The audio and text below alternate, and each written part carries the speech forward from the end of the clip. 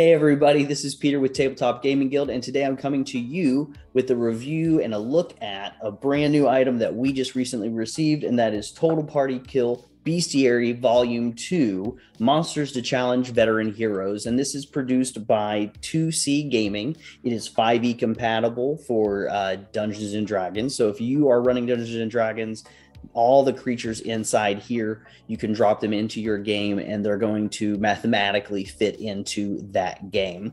Uh, but there's a lot more than just creatures in here. There are a lot, though. There's about a hundred creatures in this book that you'll be able to put into your game. Um, but more than that, there is a lot of information that they put into each of the creatures. They're going to give you lore for the creatures. They're going to give you tips and tricks on how to run those creatures to make them easier or slightly more difficult. Um, but there's a lot of really great information for dungeon masters, for game masters who are running their games of Dungeons and Dragons and looking maybe for some more creatures to throw at their party. So let's go ahead. We're going to dive in. I'm going to put the camera down. We're going to take a look at the book and we're going to see what all is in here and maybe if this book is right for you and your game. So let's go ahead and take a look, everybody. All right, everybody. So this is a closer look now at Total Party Kill Bestiary Volume 2 Monsters to Challenge Veteran Heroes, written by Ryan Service, produced by 2C Gaming. And yes, this is 5e compatible. So if you were playing Dungeons and Dragons 5th edition, this book and the creatures within are for your game. Uh, so let's go ahead and dive right on in. So, like most books, we're going to have our authors listed up here at the top left. We've got editors, artists listed, the open game license, the uh, OGL for uh, fifth edition is listed as well. And then we have our table of contents. We're going to get an introduction. We have monsters broken down by their types, and they're going to be listed through the book alphabetically. Within each of these types, there are going to be a handful, uh, maybe three to four different creatures that fit that type. Um, those are going to be in the book, as well as then we have an appendix, three appendix at the end monsters by group, monsters that favor, and monsters that foil.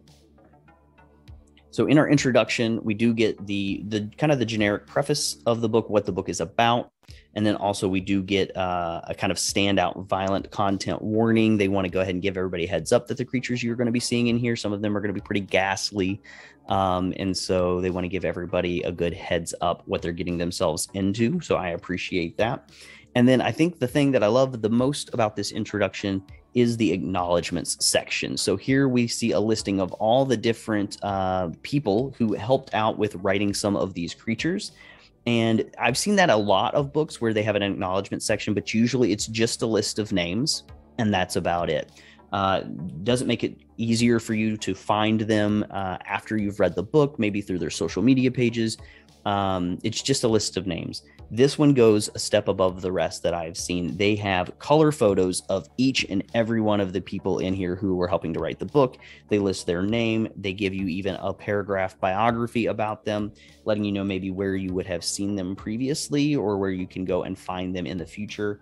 A um, couple of names that I recognized right away were Jonathan Pruitt and Jim Davis from their YouTube channel WebDM. So if you've seen any of those videos, here are a couple people that you may know and some uh, some writing by them for your D&D game. I also recognized a couple other names, uh, Celeste Conowitch and Gabe Hicks. I know both of them from writing in articles of Arcadia for uh, MCDM and Matt Colville's game. So I really, really want to say I appreciate 2C Gaming's um, idea of just really promoting the people who helped them write this book. I appreciate it a lot um, thank you guys for doing that. More more companies need to follow this suit, uh, helping to promote those out there who are writing for games like this. So great job. Uh, we go into a section next after that is what is in this book. It's going to tell you a little bit about what's in the book, but when we know it, it's a bunch of creatures, it's a bunch of monsters, it's a bunch of high level monsters that you get to throw at your party. Um, and hopefully not total party kill, but you never know. Maybe that's what you're going for.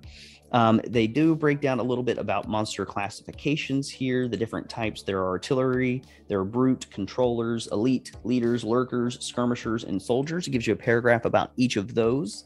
Um, and then it has a little teeny section here called favors and foils, which to me is something very new and interesting, and something that I hope, again, other companies might decide to adopt.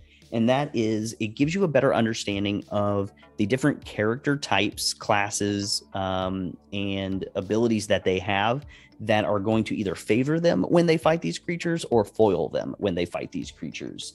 Um, so again, favors. This says it's which character, features, classes, and abilities perform well against this monster, and foils which character, features, classes, and abilities perform poorly against this monster. Um, so each monster in this book will have a little section that tells you here are the different character types and player types that are going to that are going to be used best against this creature and which ones are going to perform probably poorly against this creature. And i like that as a dm as somebody who is putting together encounters that's going to help me know okay these are the types of characters that i have in my game. These are the types of monsters that i can throw in and say it's going to give them a little bit of a harder time or a little bit of an easier time as they go through um, yeah, so I think that's pretty fun, favors and foils. And we're going to take a look at one of these creatures here in a second. But before we do that, we'll flip over to the next page.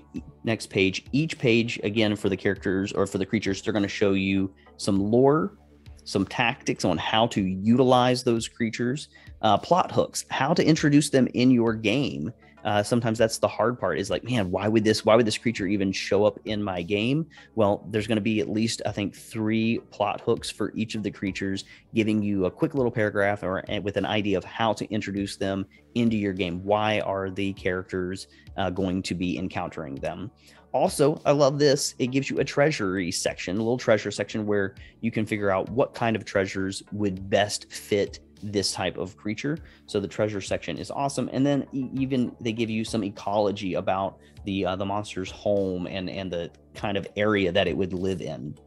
So lots of really good stuff, and uh, it gives you a little bit more information over here about uh, the different levels of challenge that can happen with high level characters. Um, and they break that down for you, talking about easy encounters, medium encounters, hard encounters, and even deadly encounters. And then they give us a nice list of every single creature that is in the book, and they list them here uh, in order of challenge rating. So the easiest challenge rating in here is a four, and that is our Lily Dragon Wyrmling. And then if we turn the page, we're going to get two more full pages showing you all the creatures that are going to be in this book, with the highest level uh, challenge rating creatures being 30, the Erlking. Um, so it's it's going to be some really again some some kind of low level character uh, creatures, but with some really high level creatures as well. I mean, two 30 level uh, challenge rating creatures, 329, 327. Those are some really deadly creatures that you could be throwing at your party. Um, so I love that they did kind of a very broad spectrum, but they're really leaning into those hard hitting creatures. All right. So the first uh, type of creature that is listed in the book are the abhorrers. And again, like I said, each type of creature is going to have at least three creatures within it. And so in the abhorrers, these are creatures that um, might show up if there's a lot of necromancy happening in your game. And these are uh, creatures that have um, they've they've they've shown up because of the malpractice of necromancing necromancers. Um, so we've got uh, the Bone Splinter is one creature that is added into this game from the, uh, in the Abhorrers. We also have a Tangle of Limbs, which is just as scary as all get out. I, I it's hard for me to even think about that one. Um, and then we have the Voided Soul. So we have three of these creatures, all of them falling underneath the overarching uh, title of Abhorrers. For each of these creatures, we get a section on lore for utilizing them and the information that we can give out for lore it shows us even difficulty class here so 11 16 and 22 so maybe your uh, players want to try to make a lore check or a history check and trying to figure out what do i know about these creatures? Well they give it to you right there. Here's the difficulty class. This is what they're going to be rolling against and if they roll 11 16 or 22 then this is the information they can gain about the creature uh, during the fight before the fight whenever you give them that chance. There are there's a section here on tactics how you can best utilize this creature um, to make it a difficult encounter for your players And then down here, we see a little, it almost looks like a post it note. The post it note gives you a little bit of flavor text in there. And then this is where you will find your favors and foils. And so for the blown, bone splinter, it's telling us that um, the the characters and their abilities that are favored against the bone splinter are barbarians, clerics, uh, people with healing or high hit points, and paladins. So those are all the uh, character classes and or abilities that might help your players fight a bone splinter. But those who are foiled by the bone splinter, it lists as bards, people who like to seek cover, rogues, stealth, or warlocks. So again, I think this is a really interesting thing as a DM, as somebody who has to build encounters. They're giving me a little bit of a, of a look behind the screen about which characters and those characters' abilities might perform more poorly against this creature. So it's going to let me know am I really making a really, really deadly encounter with this creature? So after the tactics section, um, there are there's a section on plot hooks, and they give us three different plot hooks for uh, the bone splinter. So I'm going to go ahead and read a couple of those just to kind of give you a little bit of an idea about what it is that they're providing. One of the plot hooks is called a bone to pick. It says an adult copper dragon has something caught in its teeth and requires a specific tool to remove it. A particularly sharp bone found only in a bone splinter. The dragon will pay handsomely for a pristine specimen provided it's delivered promptly. We also have one called The Night After the Marrow. A paladin is seeking the marrow of a bone splinter for a healing concoction to soothe his aging body. He was once the victim of a bone splinter, and though he healed his broken bones, the ache remains. And then the last one here that they give us is a marrow escape a halfling thief dropped the loot from a recent score right in the middle of a pit containing several bone splinters. He would like it back and is willing to split the bounty with whomever helps recover the lost items. So, those are three really great plot hooks that you could utilize in introducing this creature to your game. Uh, and I think that's a really helpful part of each of the creatures, giving the DMs an idea of how do I introduce this character. Also, we have the treasure section that each of these are going to have. This one says the body of a bone splinter is made extremely durable by the necromantic magic which sustains it. When slain, this durability remains within the many bones that once composed its body, with typically enough intact bones remaining from a typical splinter to create a powerful, heavy armor known as bone armor. Doing so requires 24 hours of strenuous activity and a successful DC 18 intelligence check using Smith's tools spoiling the bones on a failure. So you have the ability that if you fight one of these bone splinters, you're going to have enough bones remaining that you can try to fashion your very own set of bone armor. And it lists here how much the bone armor would cost 3,000 gold pieces. It also says here that it gives you an armor class of 17 plus your dexterity modifier with a max of two. So you could get up to a 19 armor class utilizing this. Also, you have to have strength 16 to even wear it, and you get disadvantage on stealth, and it weighs 10 pounds. So, a really cool item that could be gained by fighting this incredibly uh, difficult creature. Uh, as usual, we get the the very normal uh, character or the the creature stat block. So if you've played fifth edition, you know what the stat blocks look like. This is very uh, normal. It lets you know the size of the creature, its alignment. It gives you its armor class, hit points, and speed. It gives you any of its traits and actions. All of that's going to be listed over here.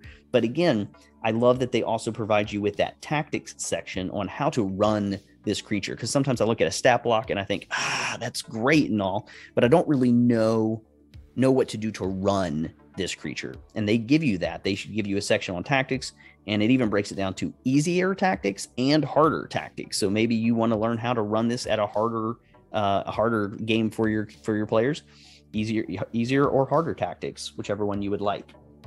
So we also have Tangle of Limbs, like I mentioned. Same thing here. You get your section on lore, your section on tactics, you get your plot hooks.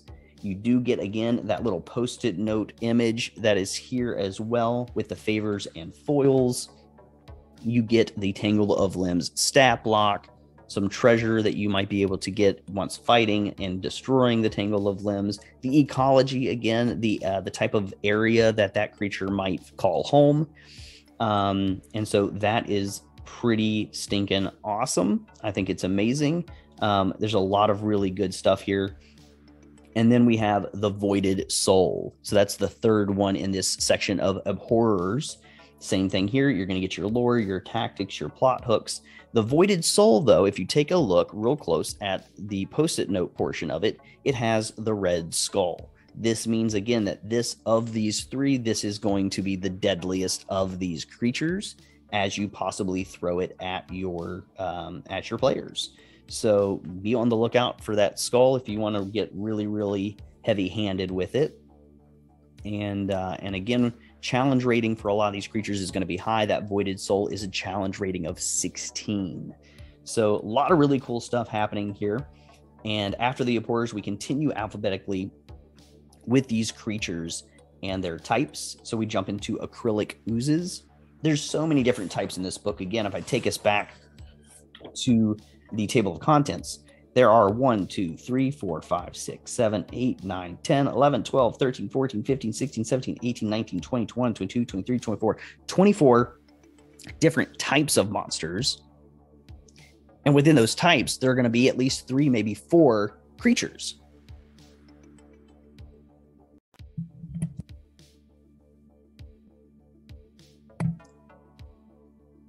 So that is a lot of creatures that you are going to get to look at in this book. Now, I'm not obviously going to show you all of these creatures. That would take a really, really long time. But I do want to go ahead and throw in this would be subjective. This is my thing. The one drawback for me is um, not all of the art in the book is phenomenal. There is some really nice art in this book. Um, and I'm going to at least show you, try to show you one of the pieces of art that I really, really like from the book. But it's kind of a mishmash, and um, the level of detail that each piece of art goes into is is very different. And again, I understand that because um, art is expensive, and I'm I'm sure they were out there trying to find the best art that they could for this book. Some of it's great, and again, even this one, just a black and white piece of art, but it is a really intriguing work of art. This this tangle of limbs will show up in my nightmares at some point, I am sure. Um, so it's not just that some of them are color and some of them are black and white, um, but it's just varying degrees of level of artistry. And again, it's very subjective. Not everybody's going to agree with me on that, and that is okay. But take a look at this work of art. Uh, it is pretty phenomenal. Uh, the shark in here is really cool. And for scale, that is the ship that the characters would be on. This is insane. Whatever this creature is, nuts. This megalodon of a shark with this huge fin on it is crazy. And then we've got this dragon in the background as well, wrapping around.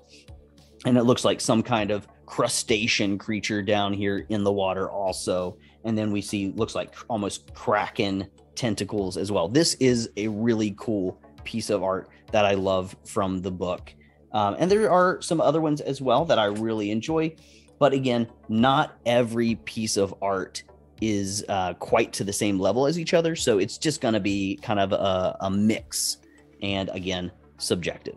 But if there was anything that I was at all going to say, even slightly negatively about this book, is that the art isn't consistently knocking you out of the park. But again, that's going to be most books, and art is really expensive.